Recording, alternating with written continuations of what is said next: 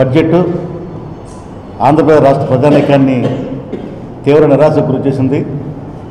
ముఖ్యంగా ఉత్తరాంధ్ర జిల్లాల్లో ఉన్న ప్రజానీకం అయితే నాలుగు దశాబ్దాలుగా పోరాటం చేస్తున్నటువంటి రైల్వే జోన్ ఎట్టి పరిస్థితుల్లో ఈ బడ్జెట్ సమావేశంలో ప్రకటిస్తారని ఎంతో ఆశతో ఎదురు చూసినటువంటి ఉత్తరాంధ్ర ప్రజానీకానికి మాత్రం చాలా బాధ వేసిన పరిస్థితులు ఇవాళ ఉన్నాయి. నలభై ఎనిమిది నెలలు గడుస్తున్న ఈ రోజుకి అన్ని బడ్జెట్లు పూర్తిగా సమర్పించిన ఏ ఒక్క బడ్జెట్లోనూ ఆంధ్రప్రదేశ్ రాష్ట్రానికి తీరని అన్యాయం చేసిన విషయం స్పష్టంగా తెలుస్తున్న పరిస్థితి మనం చూస్తున్నాం. రాష్ట్ర ముఖ్యమంత్రి చంద్రబాబు నాయుడు గారు కేంద్రంలో భాగస్వామిగా ఉండి కూడా ఎందుకు ఒత్తిడి తేలేకపోతా ఉన్నారు? దీని మీద మాకు పలు అనుమానాలు ఉన్నాయి. చంద్రబాబు నాయుడు గారు చేయకూడదు తప్పు ఏదైనా చేశారా? లేదా కేవలం పోలవరం ప్రాజెక్టు కాంట్రాక్ట్ మార్పించుకోవడం కోసం ఇవన్నీ తాకట్టు పెట్టి ఈ బడ్జెట్లో ఏ ఒక్క అంశాన్ని తీసుకురాకుండా ఏమైనా లాలూచి పడ్డారా అన్న అనుమానాలు కూడా కలుగుతూ ఉన్నాయి.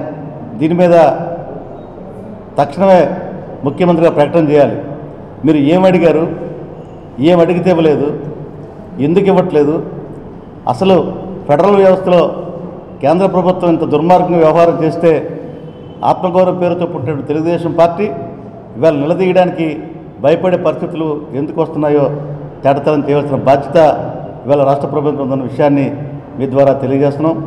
ఒక పక్క బీజేపీ వాళ్ళు మేము దాదాపు రెండు లక్షల కోట్ల పైన ఆంధ్రప్రదేశ్ రాష్ట్రానికి ఇచ్చామని చెప్తా ఉన్నారు.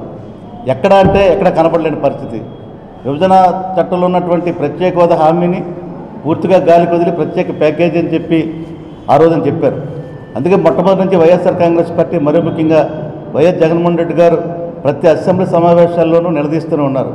మీరు కేంద్రం దగ్గర లాలూచి పడతా ఉన్నారు.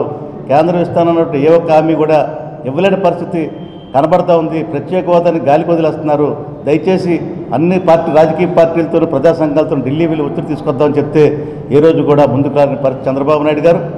ఇప్పటికైనా సరే మీరు చేతులెత్తేసి తప్పుకొని ఇవాళ బయటకు వచ్చి నెప్పం బీజేపీ వచ్చేయాలని ప్రయత్నం కాదు. రైల్వే జోన్ ఒరిస్సా అభ్యంతరం చెప్తుంది కాబట్టి ఇవ్వలేదని ఒకరు చెప్తారు. అసలు విభజన చట్టం ఉన్న హామీ ప్రతి రాష్ట్రానికి లింక్ అయి ఉంటుంది ప్రతి సమస్య కూడా. విశాఖపట్నం రైల్వే జోన్ గురించి అసలు ప్రస్తావనే తెలియదు తెలుగుదేశం పార్టీ ఎంపీలు కానీ బీజేపీ ఎంపీ కానీ అని చెప్పి రైల్వే బోర్డు సభ్యుడు చెప్తే ఇంతవరకు ఒక్క సభ్యు ఒక్క పార్లమెంట్ సభ్యుడు కూడా స్పందించలేని పరిస్థితి మనం చూస్తున్నాం.